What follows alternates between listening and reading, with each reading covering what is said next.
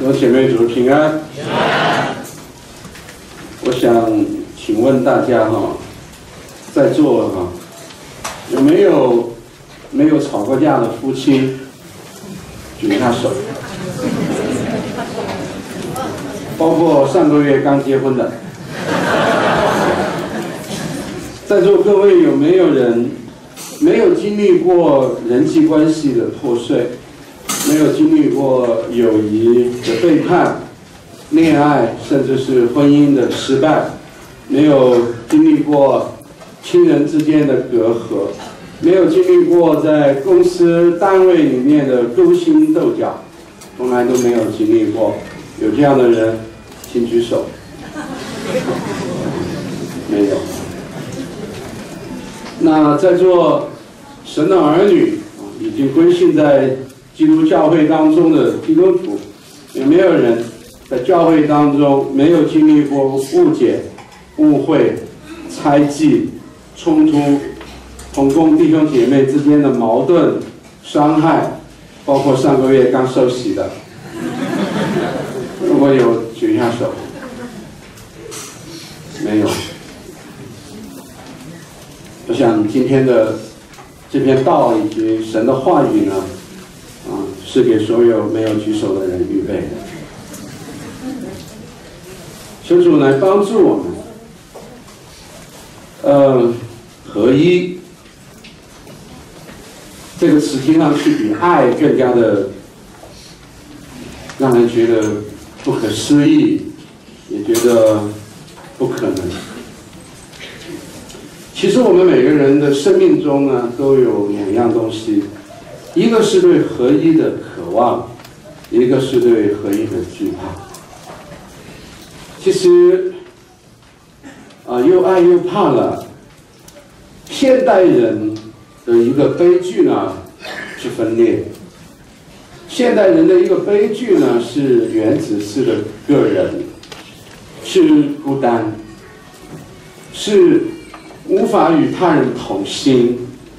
啊，这是现代人的悲剧，分裂，分裂，啊，自分裂到个体，啊，拆毁，拆毁，只拆毁到一块砖都不在另一块砖上，一块石头都不在另一块石头上。但是在另一个方面呢，这是现代人的悲剧，但是也有一个。与这个悲剧密切相关的，我称为现代人的骄傲，那就是独立。我们是独立的，还有独特，我们是独特的。有的时候你听见一个人啊在那里讲话，大家交往的时候，他忽然很淡淡的说了一句：“其实我跟他们都不一样。”因为每个人都是想追求自己的独特性，我是独特的，我跟别人不一样。呃，其实我的看法跟你们都不一样。啊，甚至说，呃，其实，其实我这个观点啊，接下来各位，接下来我的这个观点是历史上从来没有谁给人家讲过的。那所以，分裂和不能够合一，是现代人的悲剧。但是这个悲剧又如此深的扎根在现代人的骄傲里面，又是现代人引以自豪的。没没有一个现代人说我以孤单和分裂为自豪，但是每一个现代人却都以独立和独特而自豪。但是人们却没有看见这之间是有关系的。这之间这一个现代人的悲剧就是他们的。傲慢，他们的骄傲，他们的独独特的追求所带来的。所以，那我这样讲，其实所有的人都在追求合一，所有的人其实都渴望合一，但是在古典的社会里面跟现代的社会里面有一个非常大的差别，在古典的社会里面，人们追求的是社群的一，是一群人。他们之间的一啊，同归于一，就是刚才我们读到耶稣在大祭司的祷告当中，就是在他被捕在克西马尼园祷告的时候，有一个词不断的出现，什么？合二为一，合二为一，合二为一。所以有一件很奇妙的事情，让我这样想，亲爱的弟兄姐妹，甚至耶稣不是为你个人的一个得救和重生被钉在十字架上的。耶稣在大祭司的祷告，就是约翰福音第十七章里面的祷告，写明他是为了你们的合二为一而被钉在十字架上的。他是为了将骄傲的、独立的、分裂的个人，重新的带他们走向联合，重新的将他们在他里面合一。而被捕的，所以你注意，耶稣不是单独的为你被杀，为他被杀，为我被杀，他是为我们被杀，他是为了使我们成为我们而被杀，所以他在父的面前祷告说：“我为他们祷告，让他们合二为一。”像我们合而为一一样，所以你明白吗？如果没有耶稣所说的“我们”，就没有耶稣所说的“他们”。而这个“我们”最早是在哪里出现的呢？好，你让我在这个分裂的世界面前，你让我看一个合一的榜样，你让我看一个合一的源头。这个“我们”是最早在哪里出现的？创世纪第二章。上帝按着他的形象造人的时候，那个时候还没有人，对吧？但是神却说：“我们，我们来吧，我们要按我们的形象造人。”就当你读到这里的时候，你到时看，哎，这我们是谁呀？啊当然，在那里呢，圣经对三位一体的这一位又是多又是一的一位的启示是刚刚开始，对吧？所以，生命最奥秘的是什么呢？信仰最奥秘的是什么呢？甚至上帝和上帝所创造的这个世界最奥秘的是什么呢？这一切的奥秘其实都根植于上帝他自己的奥秘，就是。多而一，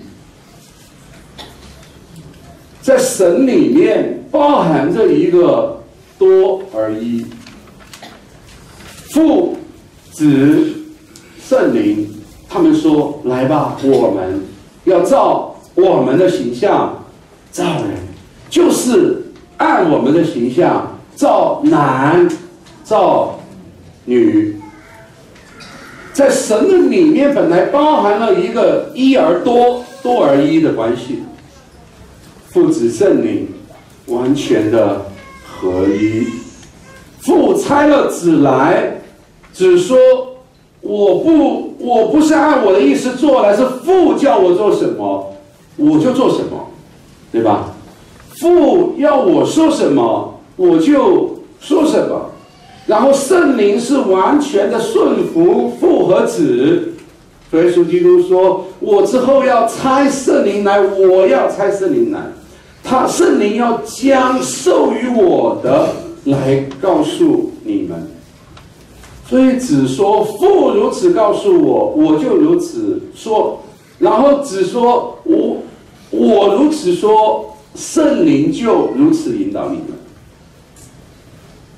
所以，让我们回到以弗所书的第一章第十节，那你说什么？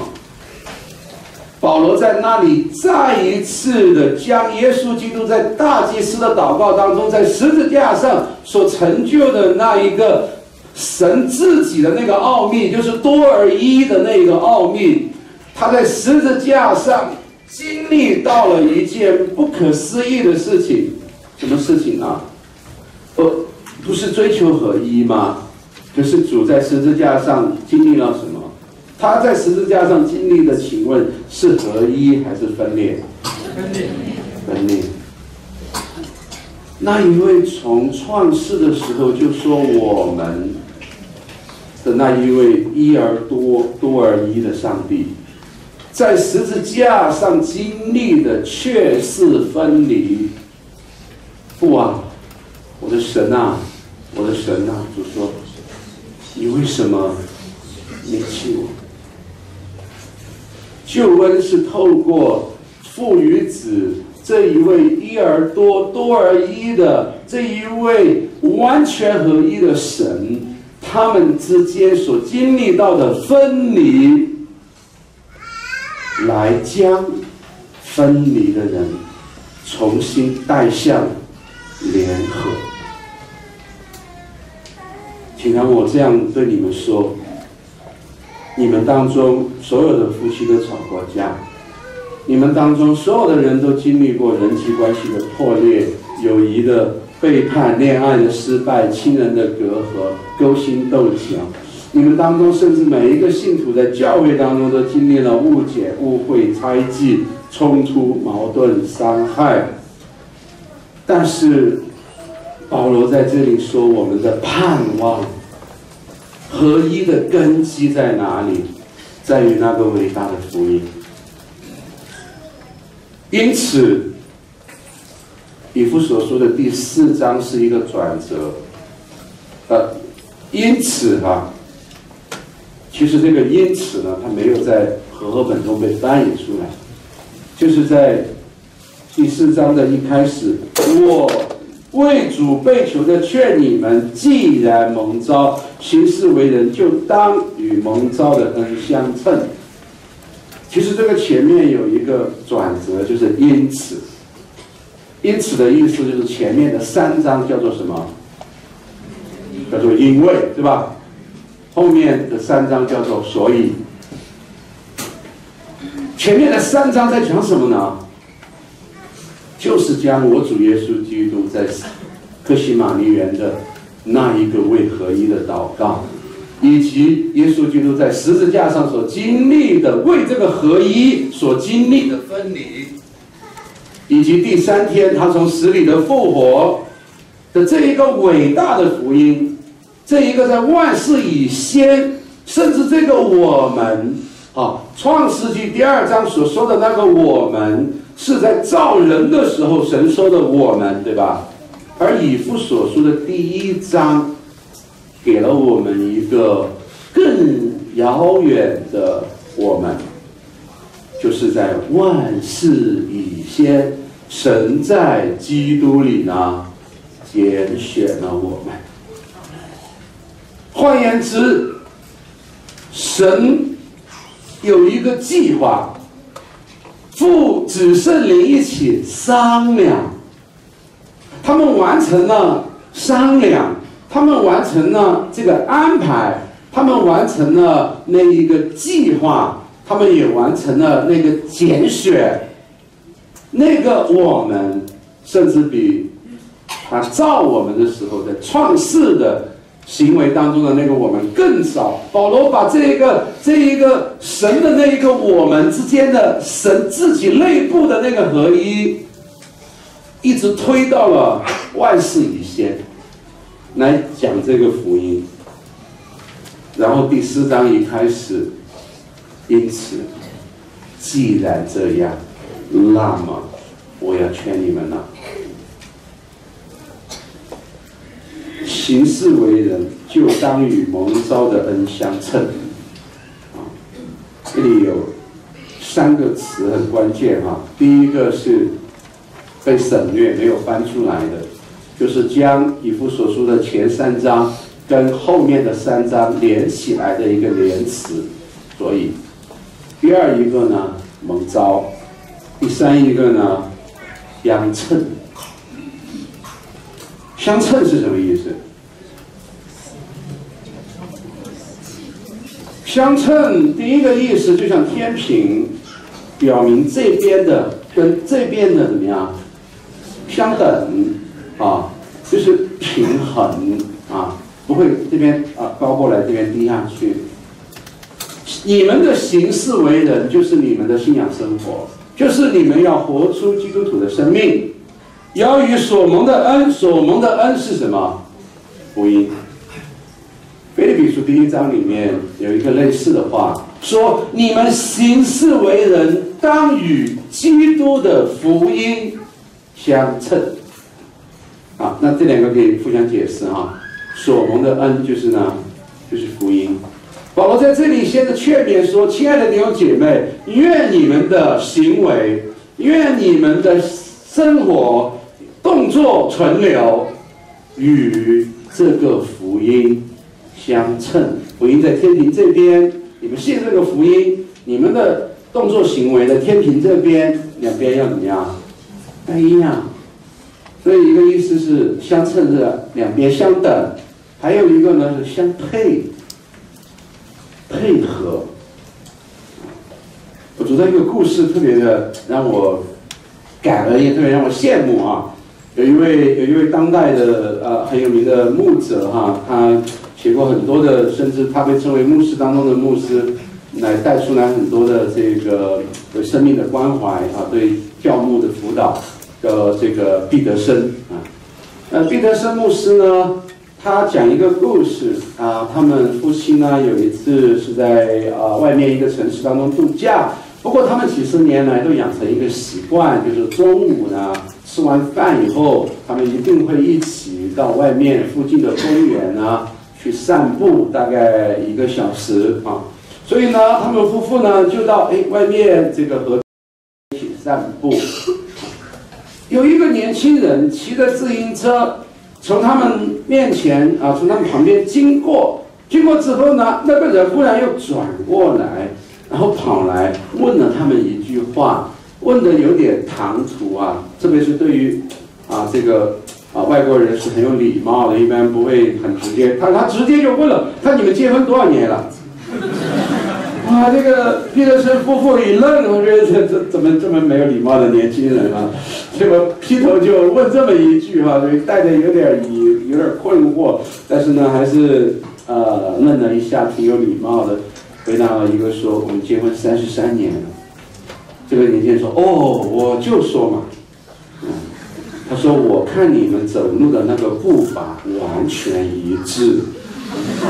他说：“我刚刚结婚五年，我们夫妻的步伐一般相差百分之一秒。”他说：“但是你们的完全一致，这个叫做呢相配，这个叫做呢相称啊。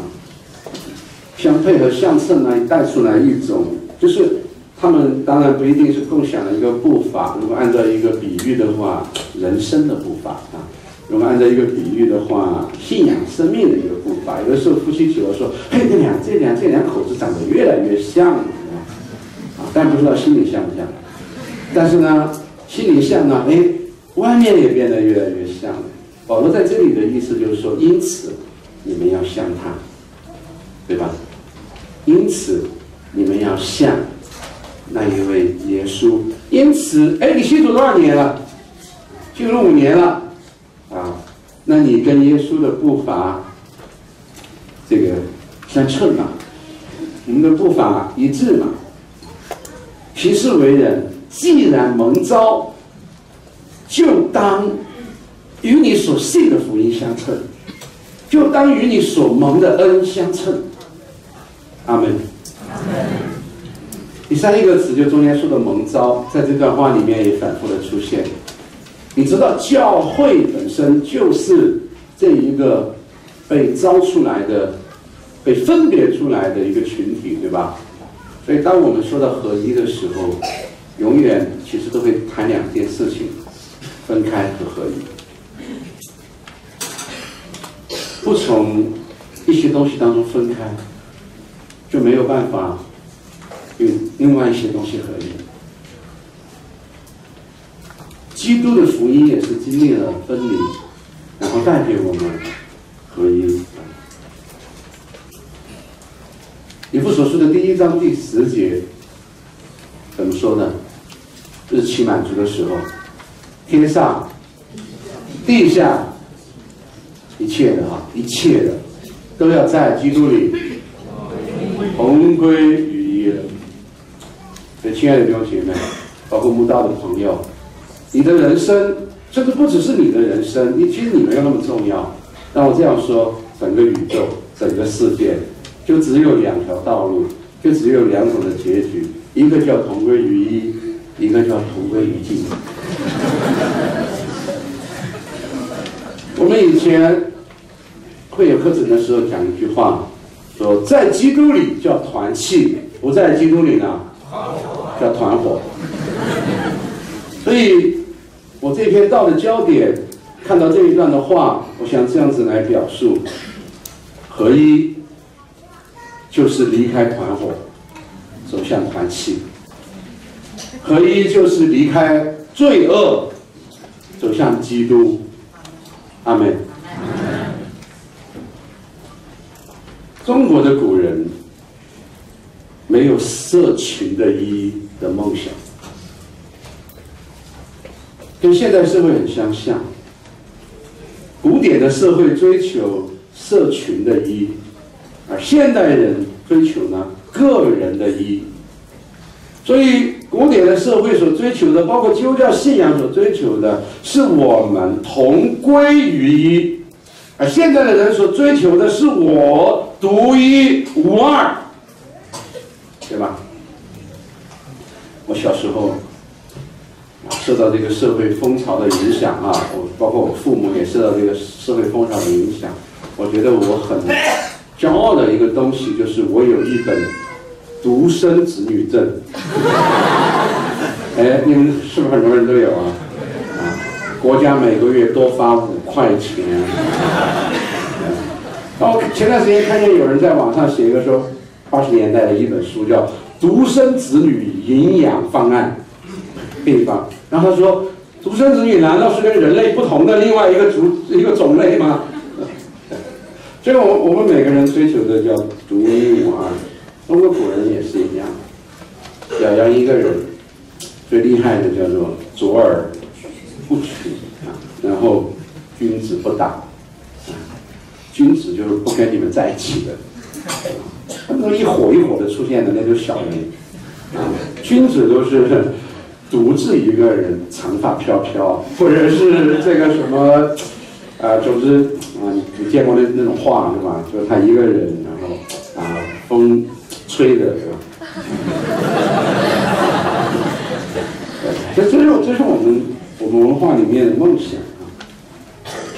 有一个牧师讲到一个蒙召的时候，他讲了一个比喻，他特别好。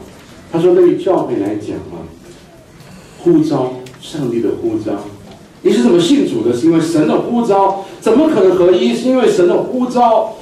然后神不是呼召一个人，神不是呼召一群人，然后把他们联合起来。所以呼召和蒙召，他说就像是教会的心脏，一缩一张，砰砰，是不是？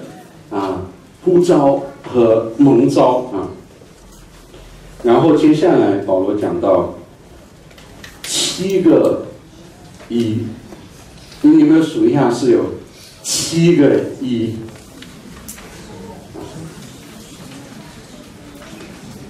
身体只有一个，一个身体，然后一个圣灵，一个同一个指望，对吧？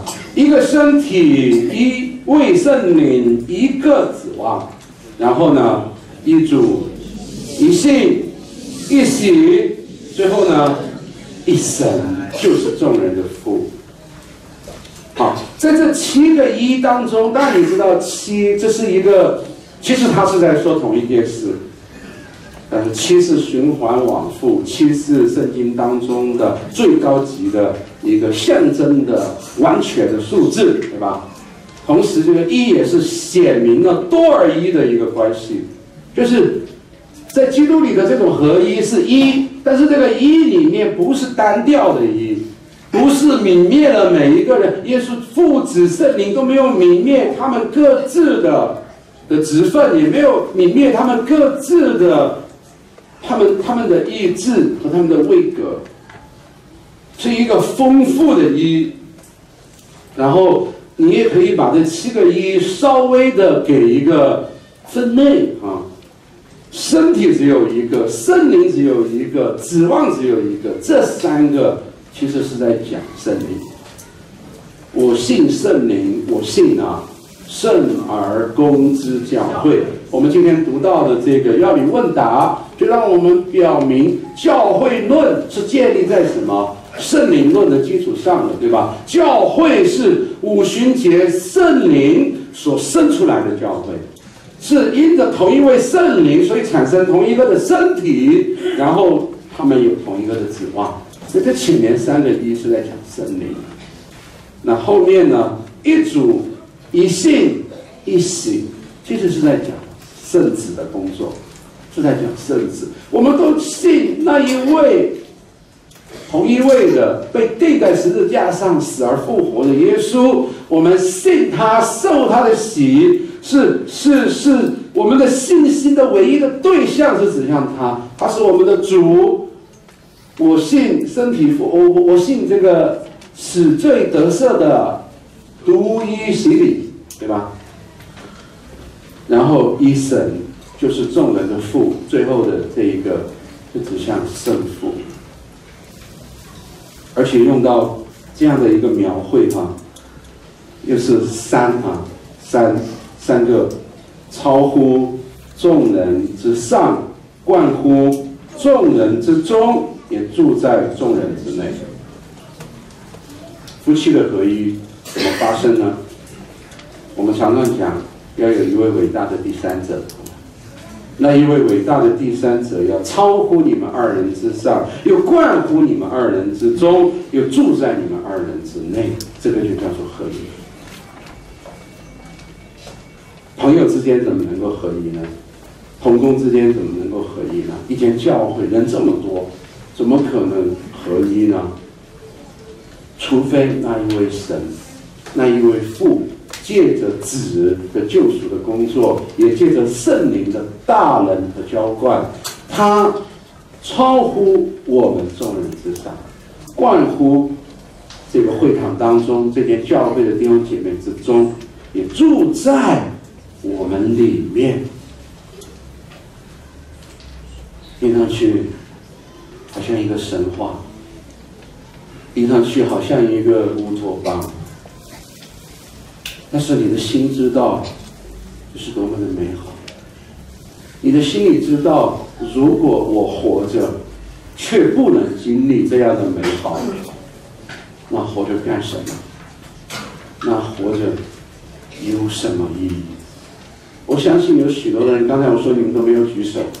我相信我们当中有很多的人经历过那种刻骨铭心的撕心裂肺的分离、伤痛、冲突和绝望的时候，你都会生出这样的念头：就是活着干什么？活着有什么意义？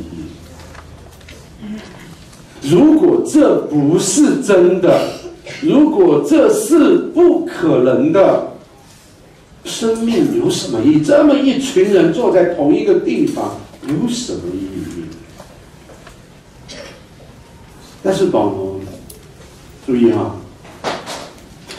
保罗在带来第四章第一节开始了这个转折，后面的三章都是要来讲与福音相称的那个基督徒的具体的生活的应用啊。但是在讲的时候，他还加了一句话，他特别的再一次的提醒你们他是谁和他的处境。他说什么？我这为主被囚的来说你。保罗不是站着说话不腰疼。保罗经历过伤害吗？保罗经历过创伤、分离、背叛吗？保罗说他天天为主冒死，被视为是这世上的渣子。不但有那教外的来自这个世界的每一天的这样子的攻击、分离，甚至有来自教会当中的不断的攻击和背叛。他以这样的一个处境来对你说：“活在这样的一个处境当中的我，劝你们，因为他的身上有那一位曾经为了我们的合一而承受与父的分离的那一位耶稣的样式。”这你明白吗？当你要去劝一个人与他人合一的时候。什么样的人才可以去劝这样的人？什么样的人才能够有力量去劝别人合一？因为保罗在这里劝我们合一，对不对？那那我们可以思想一下，什么样的人，你怎样才能有力量去劝别人合一？你必须为别人的合一而受苦，你才不是站着说话不腰疼。你渴望为。他人的合一而受苦吗？你愿意为了他人的合一，而在某一个意义上、某一个程度上、某一件事上经历分离吗？就像耶稣一样。如果你的生命当中没有十字架的印记，就是你的生命当中没有为合一而承受的分离的印记。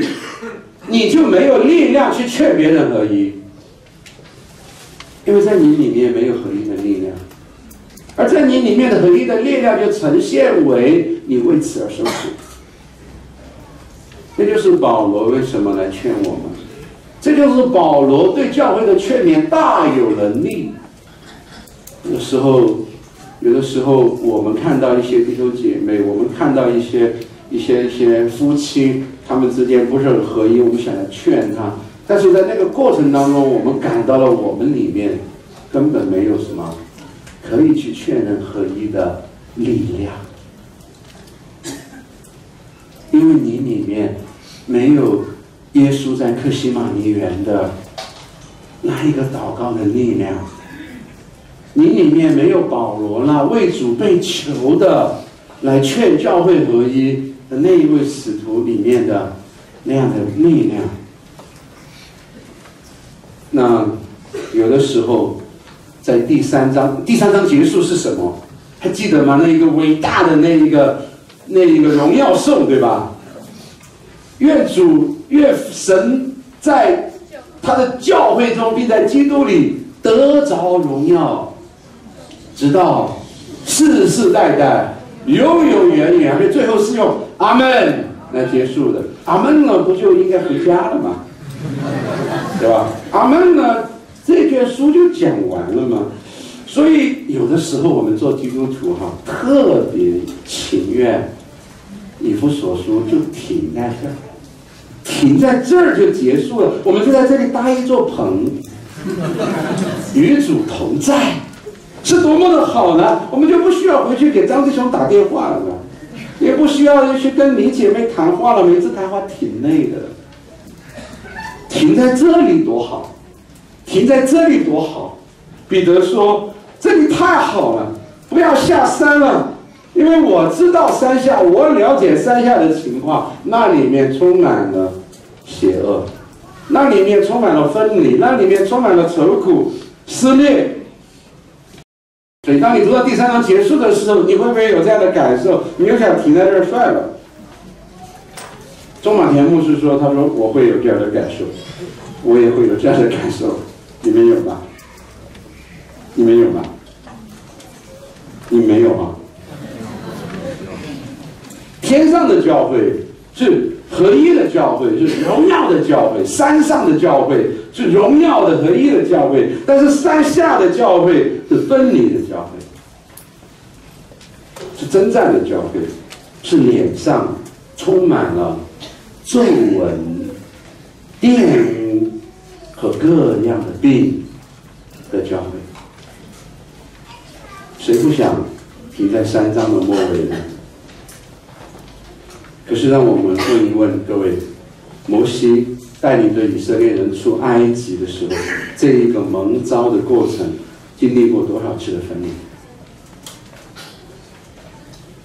大卫统治以色列，成为神所确立的王，他的一生经历了多少次的背叛？合一是一个与离开密不可分的过程，甚至合一是一个与为了合一而承受伤害的密不可分的一个过程。离开埃及才有教会，离开人的团伙才有基督里的团契，离开人的联合才有圣灵的联合。所以你必须知道什么时候你必须离开，打死都要离开。但是你也必须知道什么时候你必须联合，打死都要联合。在竭力保守圣灵所赐合二为一的心，你必须要知道什么时候要竭力保守，死皮赖脸都要保守。无非就是死皮赖脸再去找他嘛，无非就是被别人看作是没面子嘛，在主面前不要面子了，打死都要合一。但是有的时候又必须要知道，无非就是被别人骂嘛，无非就是被别人恨嘛，打死都要分开。属灵的智慧，就是要去分辨这两者的不同啊，知道什么地方要离开，离开团伙，走向团契；知道什么地方要联合，离开人的罪，离开在罪恶中的联合，走向圣灵所赐合而为一的心。教会的本质是合一，因为福音产生了合一。教会的本质的合一是超自然的合一，是是被赐予的合一。你你你有没有觉得这句话听上去有一点矛盾？竭力保守圣灵所赐的合一，你你就觉得有点矛盾？一个方面，他说这个合一是圣灵所赐的，就好像意思就是说，这不是你的努力带来的，对吧？是从上面下来的嘛。然后另一个方面又说，我们要怎么样？竭力的保守，怎么竭力呢？谦虚，竭力谦虚。然后前面说竭力温柔，前面说竭力忍耐，然后竭力用爱心互相宽容。竭力用，呃，和平彼此联络，这个就叫做竭力啊。那到底，让我这样说，我们不是在制造合一，圣灵所赐意味着我们不是在制造合一，我们乃是在保守合一。没有圣灵所赐的合一，请让我说。你做什么都合不了一，你想自己来制造合一，制造的都是假合一，都是草木合结的工程，都是沙土之上建立起来的联合。我们不制造合一，我们保守合一。保守这个词，这个动词，它的原文是指到交付的意思。就是把一个东西，把珍贵的东西，把美好的东西从一只手上交到另一个人的手上，这个叫保守。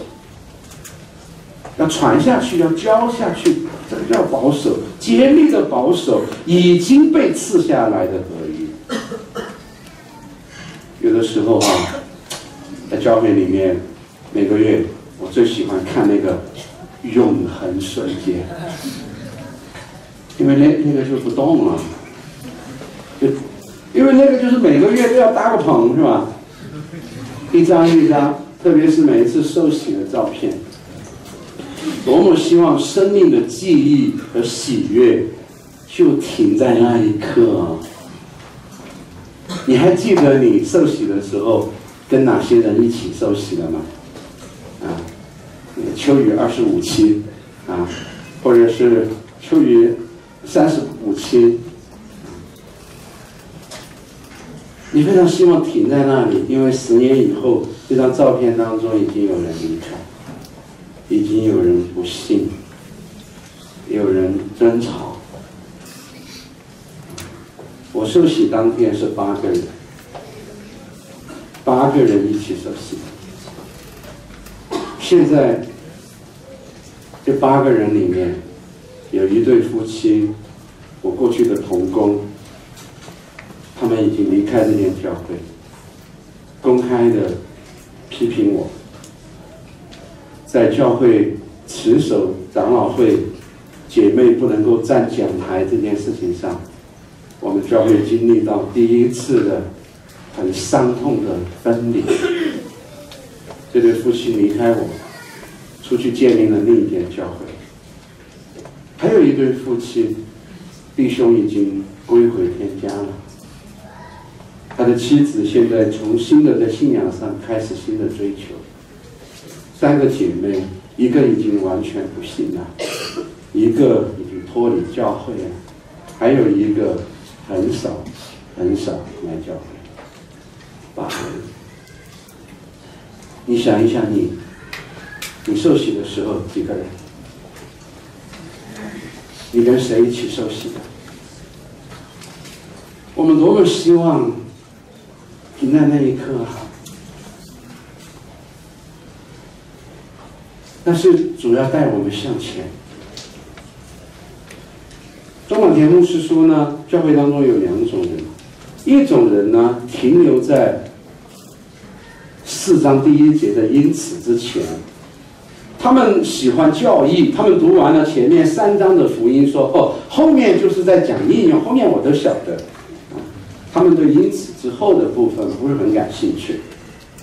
还有另一种人呢，他们只想要因此之前的，他们一看前面在讲回，他们马上跳到第四章说，所以我劝你们要从这里开始读，啊，他们他们他们更加的看重的是生活当中具体该怎么做，他们不是不是很看重那个福音的真理。你是哪一种？你更喜欢以弗所书的前三章，还是更喜欢以弗所书的后三章？你的信仰是通常停留在因此之前，还是你只想要因此之后？还是你你要你要整个的以弗所书全书？罪的实质就是同归于尽，罪是一种毁灭性的力量，罪的结果会不断的在我们中间产生怀疑、疏离、嫉妒、纷争、谣言、不和、背叛。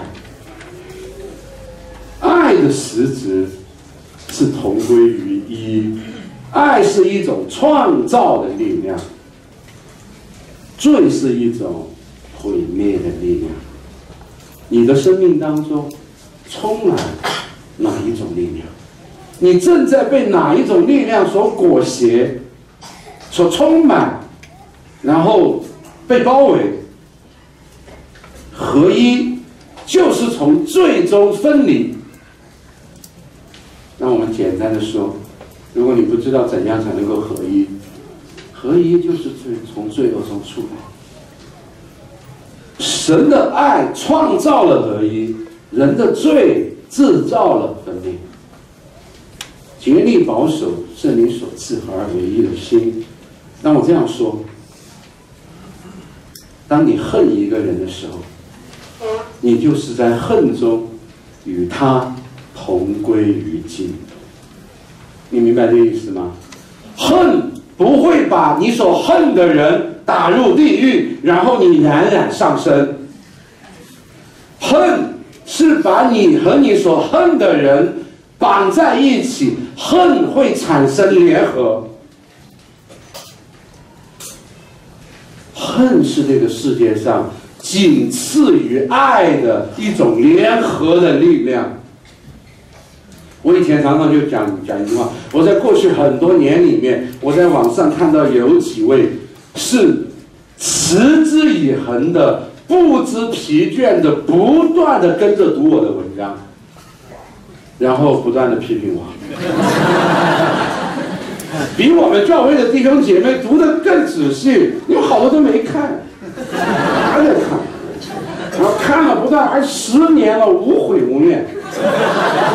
这是一种很深刻的联合，就是恨带来的联合。当你对他人傲慢的时候，也是一样的，你就在骄傲当中与被你藐视的人一同归于尽。所以，当我们看一下救赎的历史。上帝从一个罪恶的世界当中，将新的合一创造出来的那个过程。出埃及的时候，埃及长子被击杀，埃及法老的军队被淹没在红海里面。每一次的离开，每一次的合一，都带来，好像耶稣在克西玛尼园的祷告怎么说？除了那灭亡之子，一个都没有灭亡。出走旷野的时候，看见可拉一党的灭亡；进迦南的时候，看见亚干的灭亡；在十字架上看见犹大的灭亡。五旬节圣灵建立教立建立教会之后，看见亚玛尼亚。和撒菲呢夫妇的灭亡，这个故事很有意思哦。那亚亚纳尼亚过来，彼得问他，说：“你们，你们卖那个田产，那个田产不是你们的吗？你们想卖就卖，不卖就不卖，那是你们做主，对不对？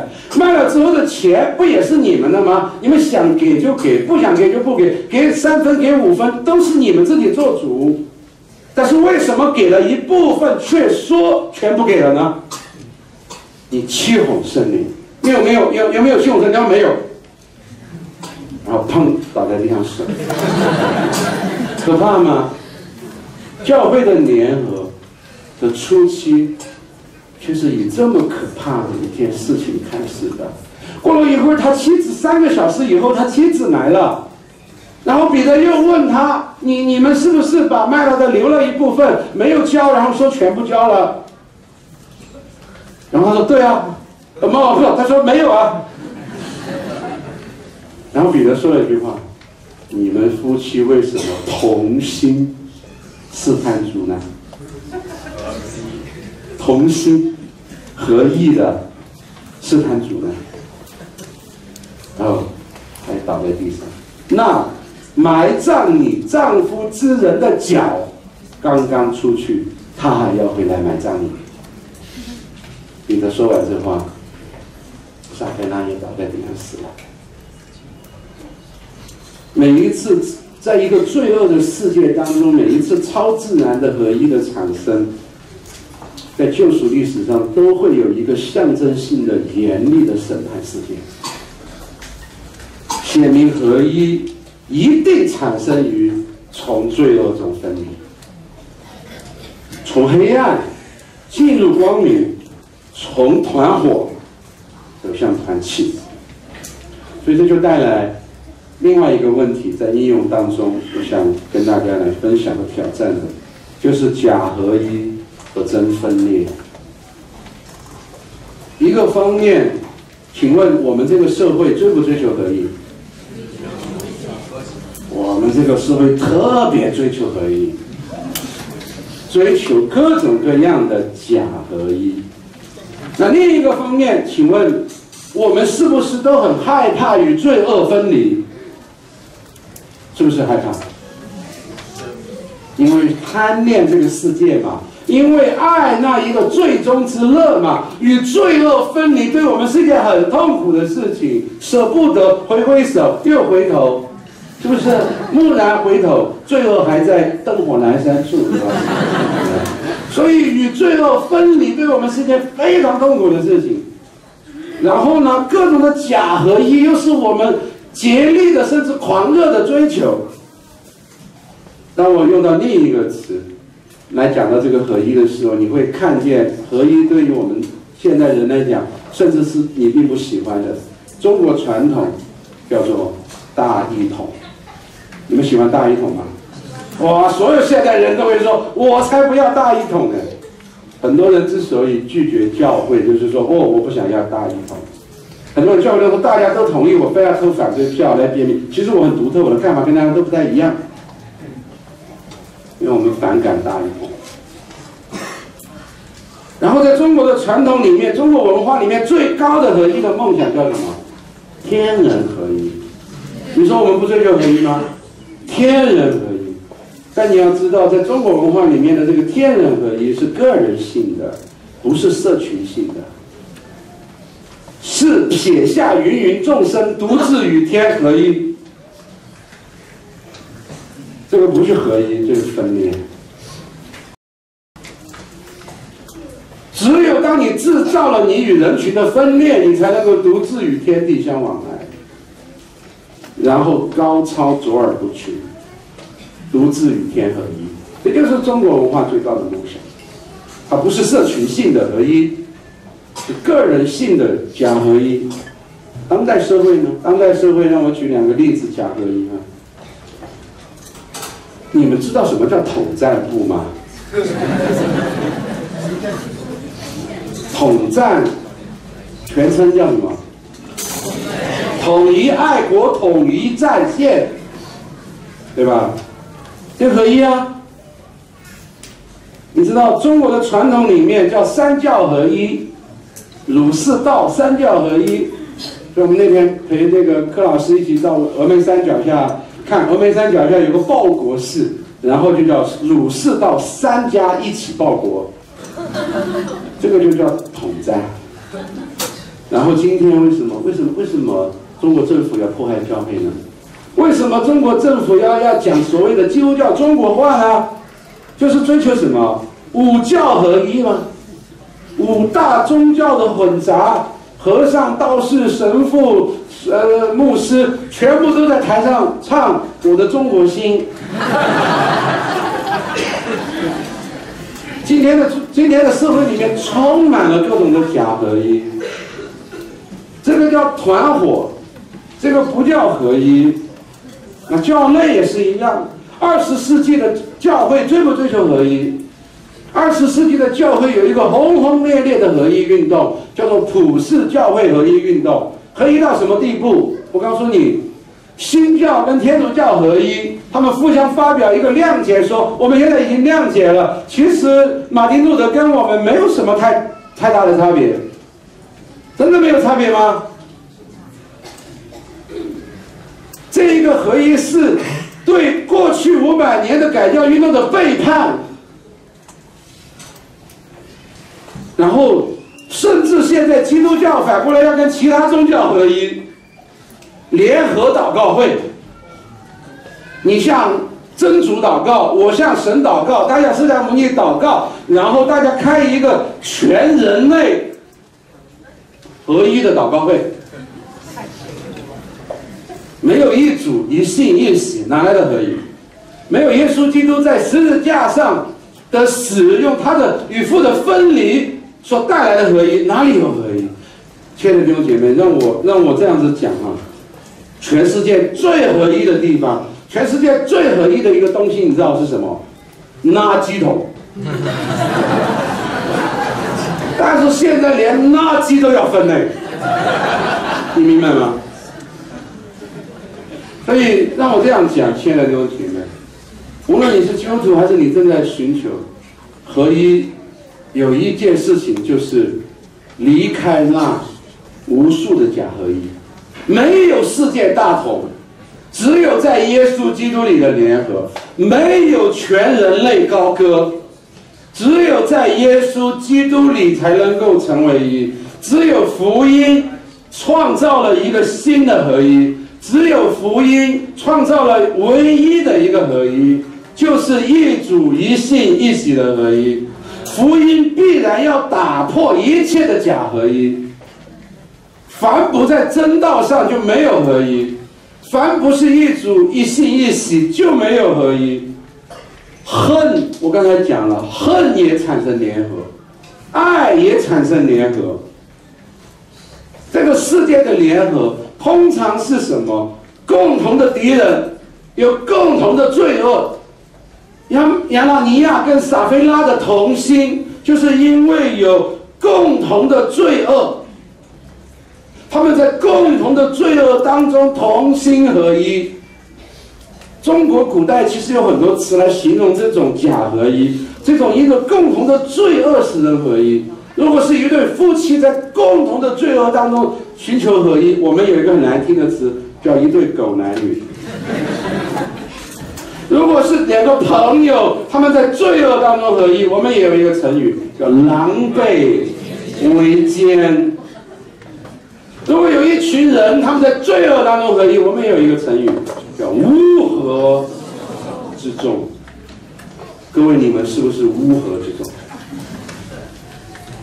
我们需要来问我们自己：秋雨圣约教会是不是乌合之众？是一组一信一喜的联合，还是在罪恶当中的联合？是在基督里的团契，还是在个人的罪恶、在个人的仁义、在个人的情欲、在个人的偏见里面所形成的联合？那个叫做团伙。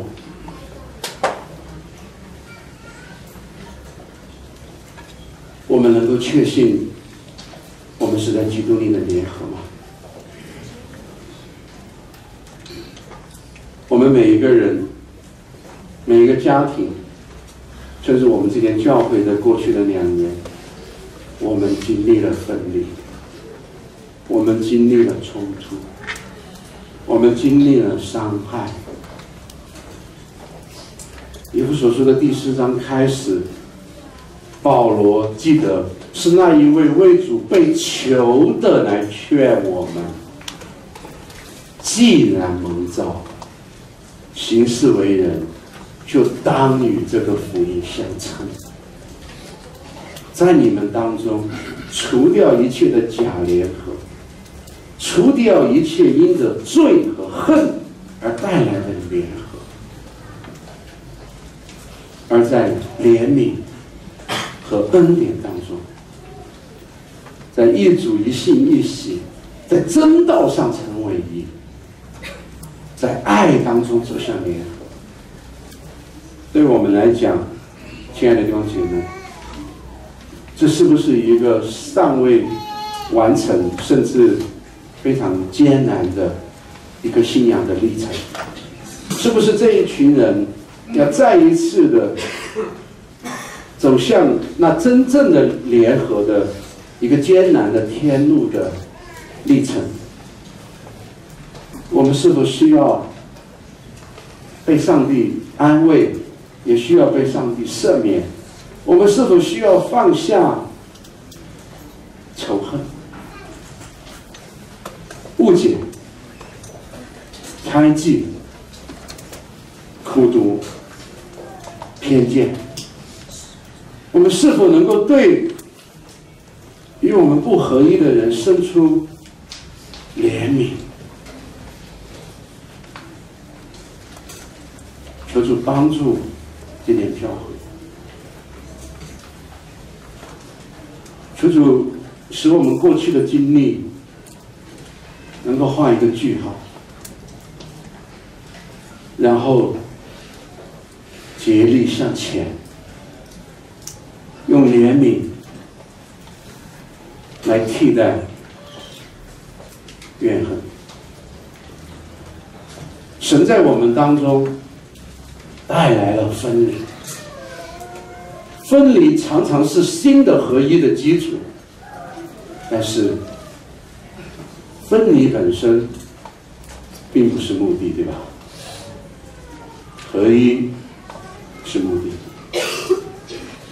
求主使我们转眼仰望那个在耶稣基督里的目的，让我们再一次听到克西马尼园耶稣基督的祷告。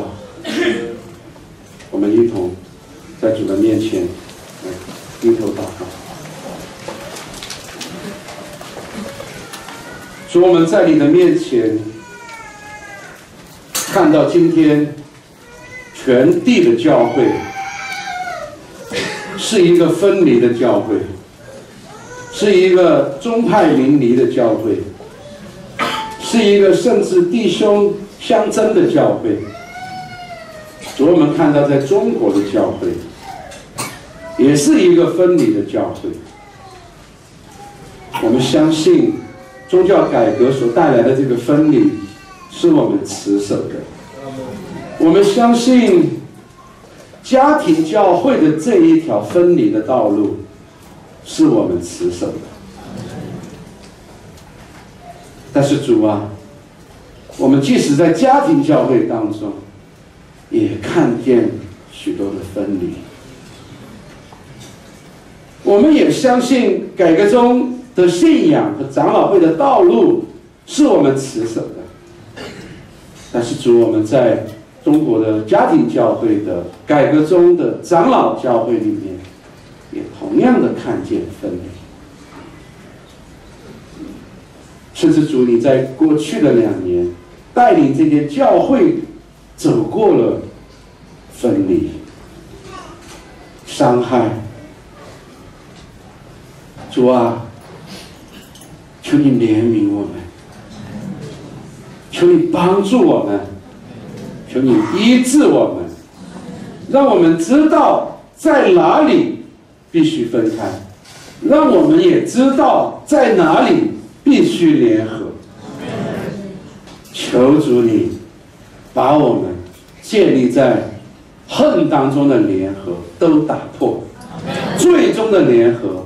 都打破，求主带我们不断的走向在爱里面的联合，求主带我们不断的离开团伙，走向团契，离开罪恶，走向基督，离开世界，走向十字架的道路。听我们如此的祷告祈求，奉主耶稣基督宝贵的圣灵，阿门。